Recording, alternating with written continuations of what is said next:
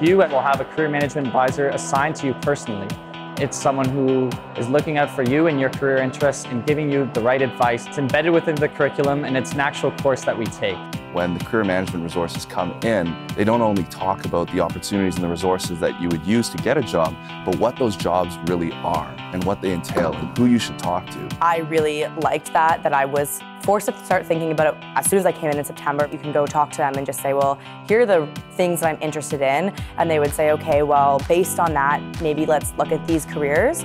And then that's where they bridge you to the Alumni Partnership Program. When I was looking for a summer and full-time placement, I spoke to over 150 different alumni, and every single one of them brought their own perspective, brought their own insights, and I guess uh, their own industry experience, and that was such a fantastic resource for me.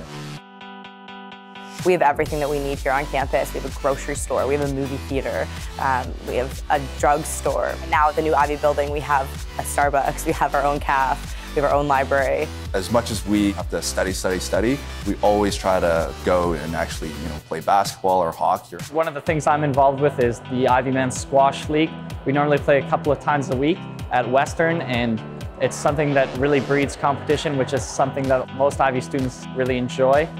Ivey Business Review is just a, a, young publication. Because we're advocating such strong and interesting, unique perspectives, large Fortune 500 companies have contacted our students, our authors, to listen to their insights. That type of resource, that type of opportunity is you know, not uh, replicated at any other school. I cover so much more often a day than anything that we've filmed and every day is so different. It's not just a, a, typical program where they try to make you into a finance expert or you know, consulting expert. They really want to cultivate your unique talents and your unique abilities.